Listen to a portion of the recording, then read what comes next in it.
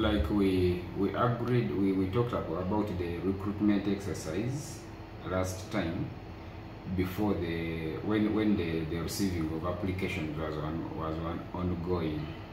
I wanted us to have a, a kind of summary of so far what has come in. The the applications that have come in are so overwhelming that uh, one we were now the, the shortlisting process has, uh, is now on. We have so far received about uh, four applications for city engineer. We have received 12 for city natural resources uh, officer. We have re- re- received five for city planner. We have received about 13 for city production officer.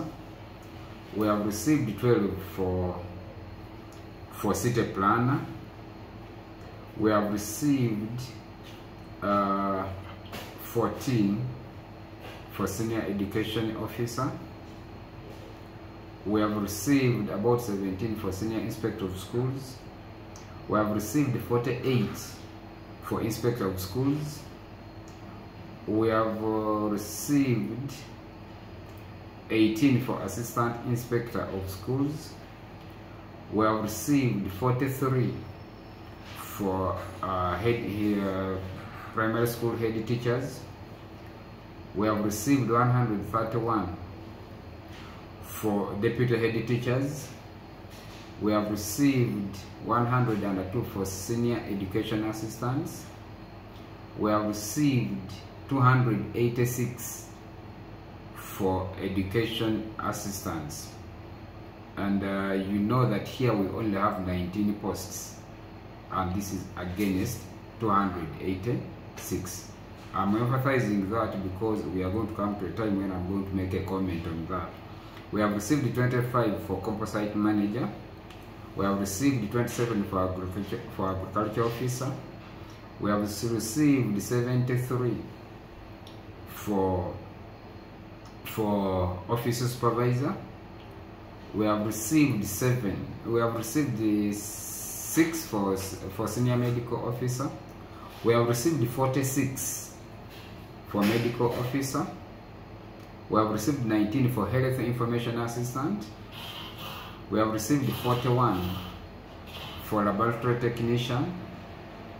We have received 118 applications for enrolled nurse we have also received 258 for town agent against only 8 posts that are what? that are available.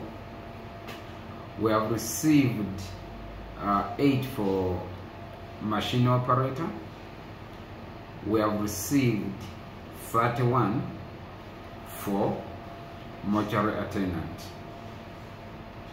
Why are we talking about this? Getting the numbers of people with the applications that have been received against the number of posts that are what are available. It means there is very high competition. And when there is this high competition, you are going to have people who are willing to use other me me methods of convincing applicants that they have a way of influencing the process if they give them some what? some money one thing we are putting across that recruitment process in Mbale City is not for financial transaction. It is based on competence. Like I've just told you, we have 258 applications for town agent against only 8 posts. Just know that it is only 8 out of 258 therefore that means 250 will not have the what? The job. It will only be 8 to have a what? A job. So from the time of applying to the time of getting the job just know that the chances of getting a job is 8 out of 250 what? 8 if you cancel 8 with 8 it means 250 will not have what a job and people should not be influenced that they will make uh, they will make a process because Kutosi is the PR of the council Therefore, maybe he knows the Sectoral Service Commission, maybe town clerk knows the, they appoint the members of the commission, mayor appoint members of the commission. I know a number of political leaders are now under pressure by their voters to ask them to influence the process. But if you are going, if you are, these are 248, 258 people, they are all from within Mbale here. Each of them is connected to the mayor in one way or the other. Each of them is connected to one person here in the council. Each of them is connected in one way or the other to the members of the what? Of the commission. Let people be prepared to go for competition and when you merit they will give you a job.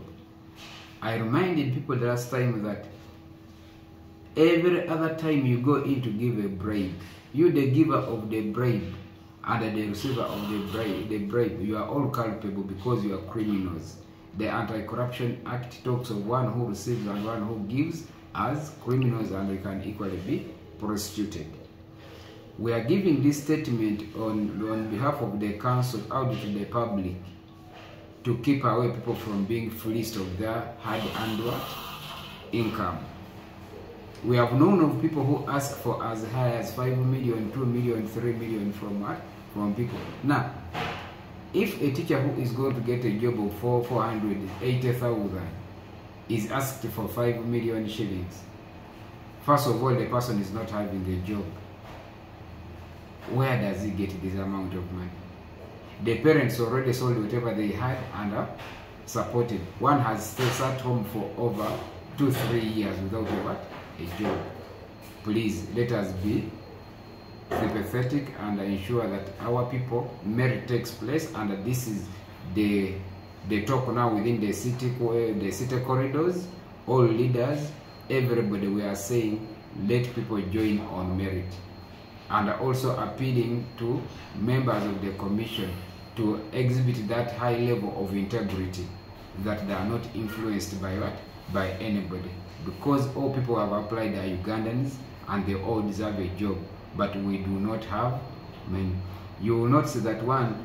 There could be more but one thing we have to to know is uh, the staff structures of all local governments or even government agencies at the center are not fully uh, you utilize up to 100% because it also relates to the wage bill would have loved that everybody is employed but given the limitations on the wage bill this cannot what this cannot happen